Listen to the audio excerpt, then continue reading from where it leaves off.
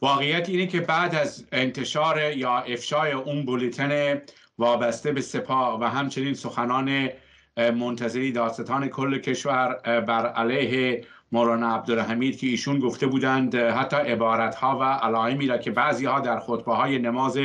جمعهشان بیان می‌کنند می‌دانیم که از کجا دارد این خطوط به اینها القا می شود همه اینها را کنار هم جمع کنیم و اون ادعایی رو که شورای عالی امنیت, امنیت ملی کشور کرده بود مبنی بر اینکه مولانا باید دستگیر بشه و آقای خامنه‌ای گفتی که نخیر همه اینا نشون میده که واقعا یه توته در کار هست. که با فرافکنی و دروغ پراکنی مولوی رو به کاری متهم بکنند که مولوی بارها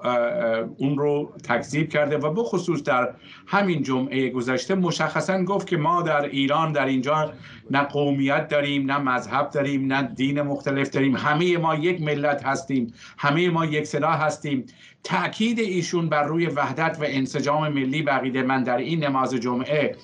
بسیاری از نیروهای امنیتی و اطلاعاتی رو و نفوذی رو پریشان کرده و به همین دلیل ما می‌بینیم که این بیانیه اخیر مولانا عبدالحمید در غروب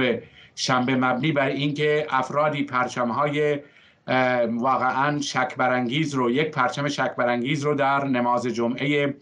زاهدان آورده بودند که, که نیروهای جمهوری اسلامی از اون سو استفاده بکنن. این نشون میده که نیروهای جمهوری نیروهای امنیتی جمهوری اسلامی و نفوذی های اونها تلاش می‌کنند که این معلفه این دروغ به اصطلاح تجزیه طلبی رو با آوردن یک پرچم با آوردن